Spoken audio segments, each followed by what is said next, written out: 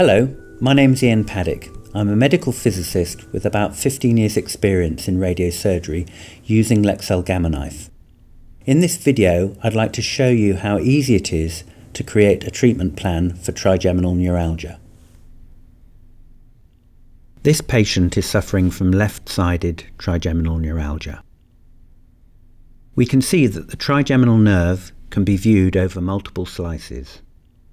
It would be ideal if we could view the nerve on one single slice.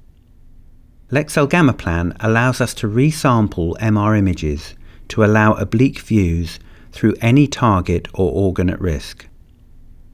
To do this, we define the location of the ACPC line, that is the anterior commissure and posterior commissure, along the midline reference. We can now click on Align Images to ACPC line and you can see the MR reformatted through the trigeminal nerve. We'll now set a target matrix and place our 4mm isocenter. We can measure the distance from the root entry zone to the shot center, which in this case is 7.5mm. Now let's set a dose of 80 gray to the 100% isodose. Let's now check the absolute isodoses. Here we can see that the brainstem is outside the 20 gray isodose. Furthermore, we can check point doses along the edge of the brainstem.